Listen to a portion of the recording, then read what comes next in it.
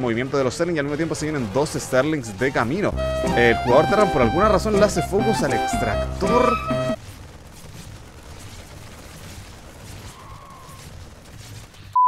Manden sus replays al correo en la descripción y yo los casteo en el próximo episodio de Casteador Comunidad. Muy bien, damas y caballeros, sean todos muy bienvenidos a Casteando a la Comunidad, también conocida como la sección favorita de los niños. En esta ocasión les traigo un Protoss en contra de Zerg, pero no es cualquier Protoss en contra de Zerg, Terra mejor dicho en contra de Zerg, porque bueno, vamos a presentar a otros jugadores, porque por acá tenemos a Greatheart jugando con él, a... Terran de color, Terran de color, que acá rato quiero decir Protoss, Terran de color ah, azul y del otro lado del mapa tenemos a Grutos jugando también con él a Protoss Terra, mejor dicho. Oh Dios, que me está pasando de color ah, azul. What the fuck, loco. Es que ve- veo esto, veo esto y digo azul. No, no, no, morado, morado, damas y caballeros. Y lo interesante es que los dos, si se fijan aquí al lado de su nombre, son del mismo clan. El cual es OTKUSC. Supongo que ahí dice Otaku Sucio. Ya, Otaku Sucio, damas y caballeros. Los dos son del clan Otaku Sucio. Y como son del clan Otaku Sucio, estamos ahora mismo, damas y caballeros, en una pelea de machos alfa. Y vamos a ver cuál de los dos es el verdadero macho alfa que va a salir vencedor en esta pelea dentro del mismo clan, damas y caballeros. Una pelea interna del clan. Recuerden que si ustedes quieren salir encasteando a la comunidad, lo único que tienen que hacer es mandarme su replay al correo electrónico que va a estar en la descripción de este video. Así que eso, así que atentos, así que atentos, atentos, atentos. Así es. Y vamos a ver lo que va a pasar a continuación porque vemos que por acá tenemos a Grutos, el cual está sacando un larvario, un proxy larvario en contra del jugador Terran, el cual no tiene ni la más mínima idea que está ocurriendo. Y esto es porque en este mapa hay, o sea, ¿qué es esto, gente? Toda esta extensión de terreno, este pedazo de tierra acá, como que sobra, ¿o no? Como que, como que sobra. Y obviamente es para colocar este tipo de proxies bien, bien cochinones que está haciendo en este momento el jugador Grutox XXXXXXX. Vamos a ver qué tal, porque ahora este larvario ya está a punto ya de, que, de, crearse. Tenemos el estanque de engendración, pero el estanque de engendración todavía no está listo. Quizás se demoró un poquito en empezar a crear el estanque de engendración, ya que cuando esté listo lo que es este larvario va a empezar a extender el talo y al final del día se va a alcanzar a ver el larvario y puede que tome acciones agresivas Greatheart en contra de este larvario antes de que empiece a siquiera salir la primera Queen o el primer Zergling, lo cual es bastante malo. Algo pinguean por ahí de que quieren atacar, pero esta es la visión del jugador Terran todavía, ya está la visión del jugador Terran todavía no está viendo y ahí se está dando cuenta que what the fuck, ¿qué está pasando por acá? ¿Por qué hay talo por aquí? Y efectivamente era un proxy hatch el que me estaban colando, se viene una Queen de camino, sí o no, así es, se viene una Queen de camino. Y de hecho se viene también lo que es un rastrero punzante para poder defender la madre colmena, gente. Bueno, larvario realmente, todavía no, no nos calentemos todavía, gente, no, no pasa nada, todavía no nos calentemos. Se viene por aquí lo que es el primero de los ah, obreros, bueno, el segundo de los obreros realmente, la Queen ya está a punto de salir, tiene que convertirlo tranquilamente en un rastrero punzante. Pensé que nos, no ibas a poner porque no había nada, what... claro, un proxy triple barracks. Claro que sí, damas y caballeros. Proxy, proxy larvario contra proxy triple barracks.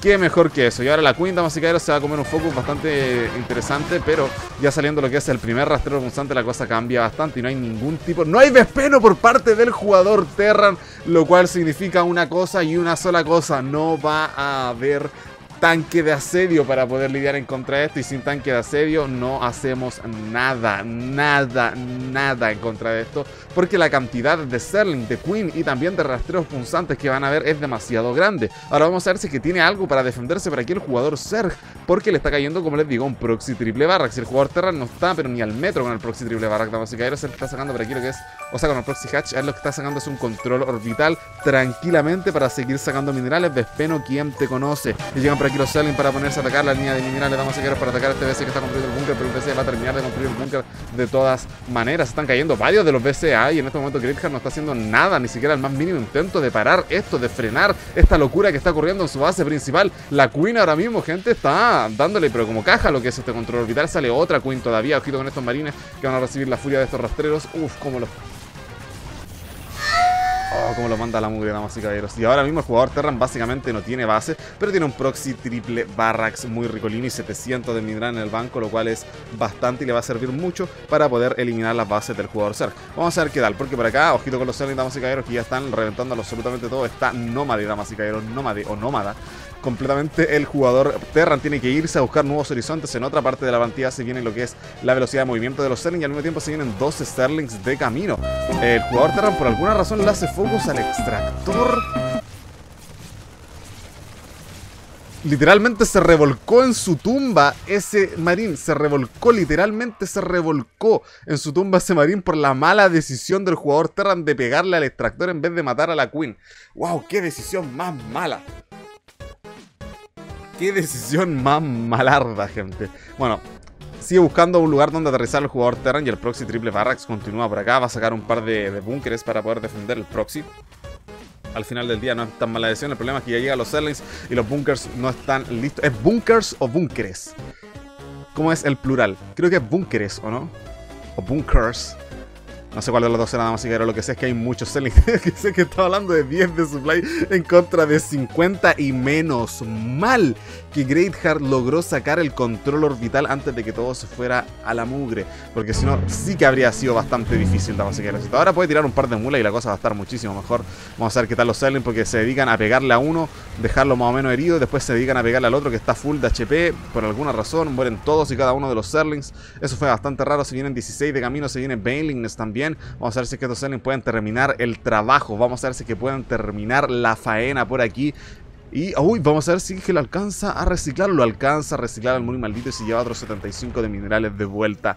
Nada mal por parte de Greatheart. Nada, nada, nada mal. El problema es el bloqueo de suministros que va a tener, damas y caballeros. Así que tiene que empezar a colocar ya de esos depósitos de suministros lo más pronto posible.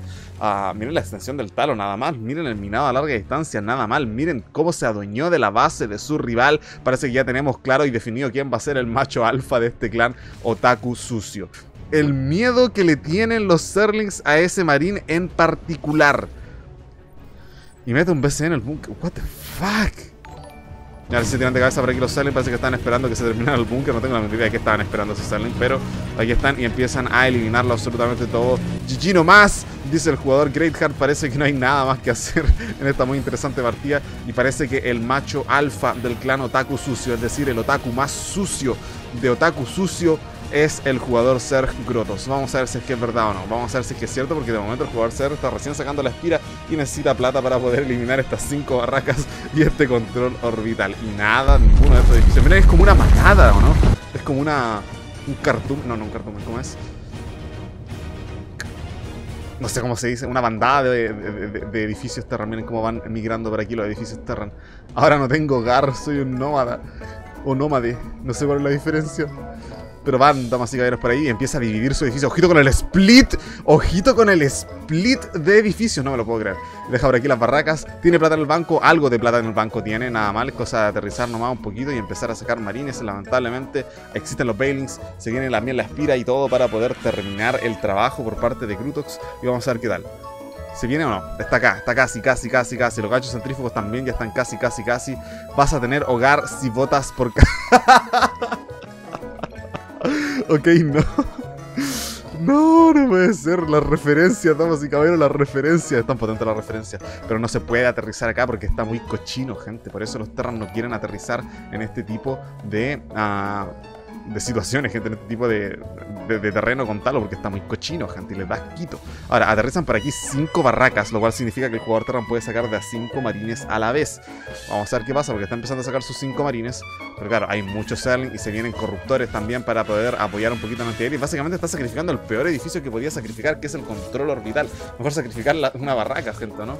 Pero al final, al, al fin y al cabo da un poquito lo mismo. Se vienen por aquí una gran cantidad de larvarios en la mitad del mapa para establecer su dominancia. Damas y caballeros. Y este control orbital va a terminar quemándose, gente. A lo mejor puede caer una mula por aquí. Uy, uy, uy, uy, Dios. 27 Bailings se vienen de camino. Por acá están los marines intentando hacer algo. Ya no les queda ni mineral. Aterriza por aquí lo que hace el control orbital. Se le ponen a bailar las Queen en toda la cara. Caen un par de mulas para reparar. Vamos a ver si es que es suficiente la reparación de las mulas. Yo sé que miran más rápido, pero no sé si realmente reparan más rápido las mulas. No lo sé.